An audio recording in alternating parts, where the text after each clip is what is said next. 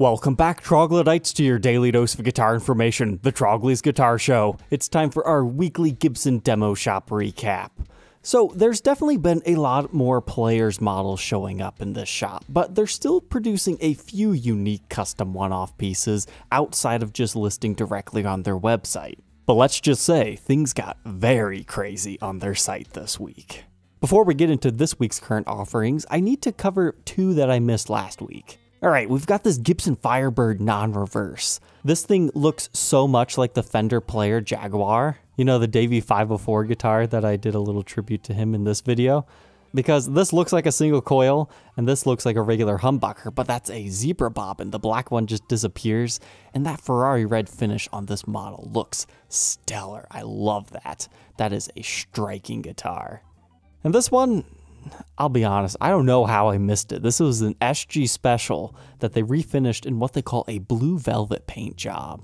$24.99 is very expensive for a special. That's a $1,000 premium, but look what they did to this thing. Not only did they do their toaster pickups, as they call them, the toaster P90s that fit within mini humbucker rings. Looks like those might be black and then it's mixed with chrome. And then they went as far as giving those they gave the pickups pickup rings and then they gave the pickup rings pickup rings.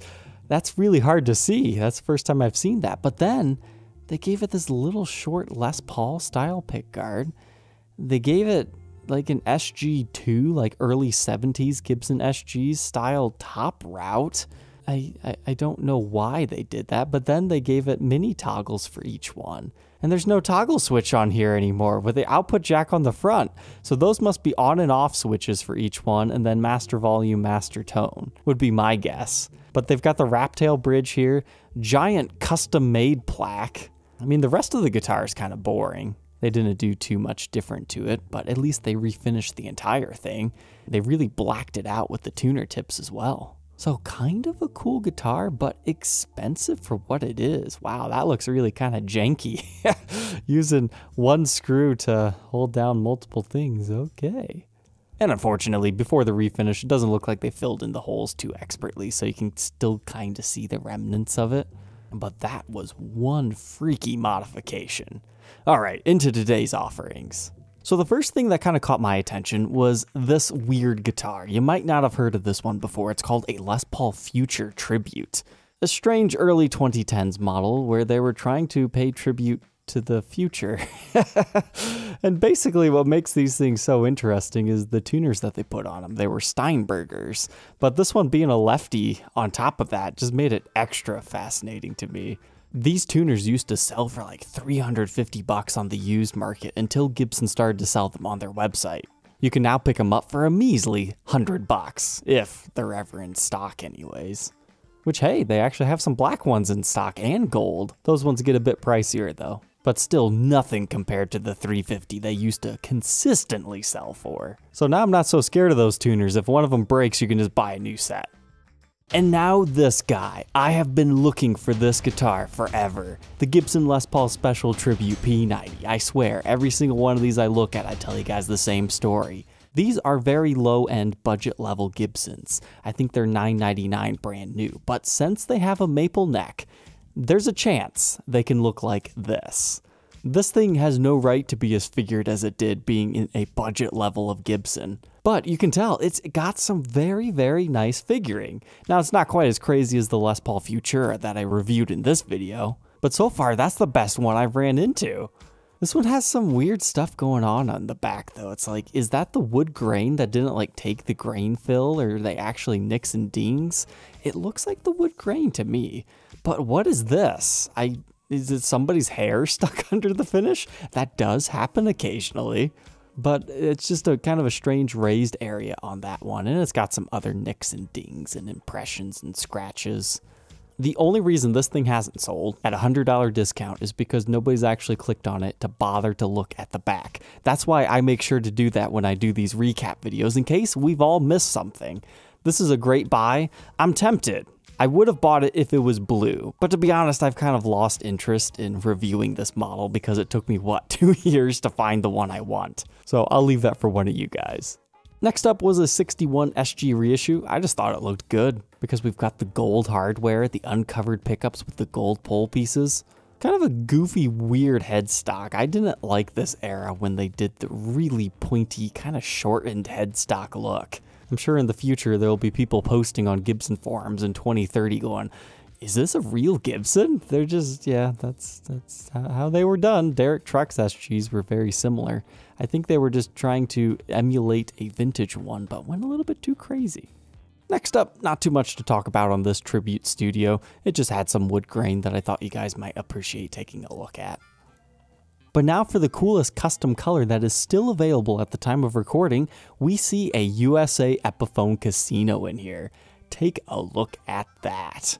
They call it Ponyboy Gold. And if I didn't just review both of the colors of this model a month ago, I totally would have bought this one to do it because it is cool. This kind of reminds me of the Antigua finish, but it's like heavily aged over. Now I'm sure in person this will look a way different because it's actually a gold finish, so it'll probably have a metallic nature to it, but that's just what this reminds me of, a heavily aged over Antigua finish. But then you get to the headstock, and it's not aged. That would have been cool if they would have sprayed that over with a yellowed lacquer. But what I was let down about this one is they didn't do the back. They just left it the original color. Now, granted, that's a fantastic looking grained back. The maple's very cool on that. And pairing that with this, it was pretty tempting because I think that's one of the first custom finished USA Epiphones I've seen in the shop. There might have been one or two other ones, but $3,299. That's a $600 premium over the other colors, Vintage Sunburst and Royal Tan. That one had to have started life as a Royal Tan, unless they swapped out the pickup covers, because that's the only one that has the chrome. The other one had the black plastics. So maybe we'll see some more custom colors of these show up. But strangely enough, that's why this looks so weird. They took the pick guard off of it and they filled it in, so it's like it never even left the factory with it. That's why that one looks so oddly vintage as compared to the newer ones. Now let's jump over to the listings that sold relatively quickly. There were some really cool ones in here too. Here's the highlights. The Flying V custom finally got listed. Remember how I was telling you guys, I think three episodes ago, they had the Firebird custom in here, the SG custom, and the Explorer custom. You could get the complete set of custom guitars that they did a few years ago from the demo shop. Now, these guys, they're still hanging around. But that silly old Flying V, when it finally reared its head three weeks late, it sold right away, and at a slight premium as compared to everything else. But to be fair, the Flying V Custom is a pretty cool model. I think we're due to see a Silverburst version of one of these as a signature guitar for someone soon. So I'm sure we'll review it then. Speaking of Silverburst, this is the best deal on a Silverburst Les Paul Custom we've seen yet. $36.99, that just seems really good. However, back in 2012, I think I paid like 4,200 for a brand new one. This one's like a combination of what we've seen the past couple of weeks. That one that had way too much of a burst, the one last week that was really good. This one, they're getting a little bit crazy back here, but not as bad as that one. Next up, this Les Paul Standard T. I don't like this finish, but that top is just absolutely explosive. If it looks like this, in Gibson stock photos, you can bet your butt that thing is crazy in person. Like it looks like they even swapped out our knobs to like really, really exaggeratedly amper it over. So it just makes this whole guitar look like it is on fire. So even though I'm not a big fan of the fire burst finish, it looks good here. It's just a shame the back is kind of boring. Next up, they actually listed a custom shop prototype this week. Kind of surprised we didn't see this on Gibson.com, but let's take a look at this. Advertised as a custom shop prototype, I kind of expected, you know, it's going to be from the custom shop, right? Let's see if there's any truth behind that. So this is an SG custom, but instead of having three humbuckers, gold hardware, they blacked it out and they gave it P90s, which is a really cool late 60s vibe here. You get the Lyre Vibrola for your tailpiece, which I'm not a big fan of. But then this ebony fretboard with your mother of pearl inlays that are custom blocks, the big old Gibson custom headstock there, that's a really cool looking guitar. However, when you look on the back, this looks more like a Gibson USA guitar. And especially when you look at the front, that also looks like a Gibson USA in my opinion. And this headstock, where's our custom shop ink stamp serial number? It's not really quite clear to me in this photo. Is it actually stamped like a USA serial number? I can't see it here, but it doesn't have the custom shop decals that you normally find. I mean, it's constructed the custom shop way back here with the extended heel from the body that juts up to the heel of the neck.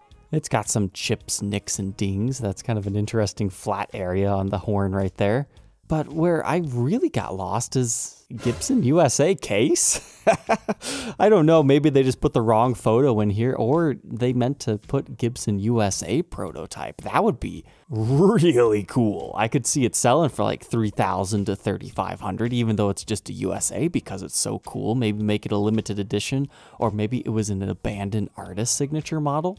Like is it custom shop but they just didn't put the regular stuff on here. They listed it at 4699 It sold even before I saw it in the shop. Prototypes tend to do that. I don't even see the prototype stamp on this. I gotta check out the listing description on this.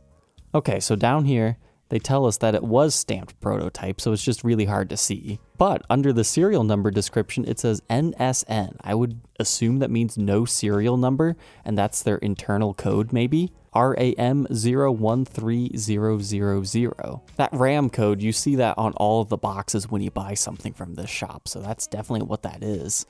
Okay, kind of an interesting guitar. Definitely save this listing though, whoever bought that, just so you can, you know, cover your tracks later on if you decide to sell it. This thing right here threw me for a loop. I thought that was a custom color on just a regular Les Paul standard. But then I kept flipping through these photos and I was like, whoa, whoa, whoa, whoa. what? This is a Les Paul Modern. That looks so transformed. Because it originally looked like this. You got the clear knobs, the black plastics, the chrome plating everywhere. But then this one, they transformed it into cream plastics, which got rid of all the modernness to it, made it look more traditional through a left-handed Bigsby. I don't think I've ever seen that. That's funny. And then that uncovered zebra bobbin, this just became a totally different looking guitar with a sweet finish. So big props to whoever did that one up. You completely transformed that just by changing a few parts. Next up, this Les Paul Standard. I liked the top on it. It was super ultra wavy, almost looks like a five piece top because there's some interesting mineral streaking in the pieces that makes it look multi-pieced. But then you get this really big wide area right here, not perfectly book matched. It's a beautiful guitar, a bit of an ugly duckling by traditionalist standards, but I absolutely loved that one. But then you find out, oh, it's 2015 spec. You're either going to love that or you're not.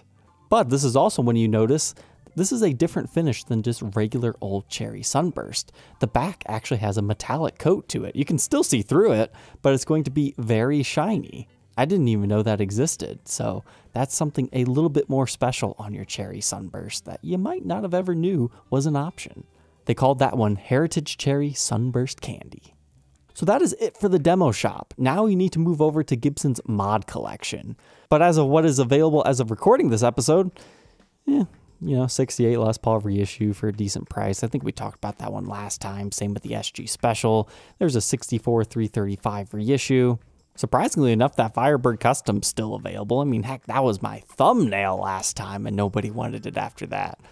Pretty much, I think the only thing that's new is this guy right here, and there's not much to talk about. It's just a Korina style flying V with a mahogany body.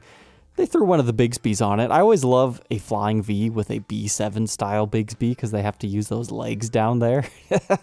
I just think it looks kind of cool but certainly more affordable than the $10,000 Korina production model Flying Vs at 4,199. The first one was this SG standard bass for 2,299 bucks. Pretty cool because they triple buckered this thing. You've got two mud buckers and like the ones that you find on like a Thunderbird. So that was pretty cool. But the finish that they gave it was metallic. It was kind of like an olive oil spill color. You can see some purple and blue right here, but mainly like the gunmetal gray type look. But what made this one extra cool to me is the fact that they threw an HP truss rod cover on it. I don't think it was actually an HP model. I could be wrong on that, but look at our headstock. Zoom in there, you can actually see they sparkled over the headstock. That is a fantastic touch. That made that a must buy for someone and a must talk about for me. But then they did up another Firebird custom. This one actually sold. Kind of a similar vibe to that last one. It appears it might have had a flip-flop finish. It's either that or they just painted the headstock a different color. Because here you can see it's more of like a, a greenish gold color, whereas the back is more of a gunmetal. But you can see at certain angles the light kind of reflects a similar color as that, and Gibson headstocks angle back. So will this turn a bright color in person? I'm not sure. But I'm so happy to see these Firebird Customs getting new paint job ideas because we haven't had anything besides black outside of the Made to Measure program in a while. I was tempted to buy this. I think it lasted like a day or two. If it would have had the banjo style tuners on it, yeah, that would have been a, a no questions asked. I would have bought that to review because I haven't done hardly any Firebirds. Next up, they had a beautiful sparkle blue ES335. Not much more to say about this one except for it had a fantastic finish on it. They gave it that pretty cool reflective gold pick guard. That looks cool in photos, but it would get all fingerprinted up. Probably not my favorite, but that looks pretty sweet. And the last one for this week was one of the 70s Flying V's from the Gibson USA production. They swapped out our pick guards with black ones. They gave it different pickups, looks like a P94 in the neck and some other type of humbucker in the bridge. It was just a good deal at $17.99. Those things are hard to find in stock. They're 2000 bucks new at the store. So $200 discount for something uniquely modified by Gibson, not too bad. All right, troglodytes, I hope you enjoyed the recap this week. If I happen to have missed something that you thought should have been mentioned, please let me know. Don't forget to like, comment, and subscribe, and we will catch you tomorrow on the next episode. Take care.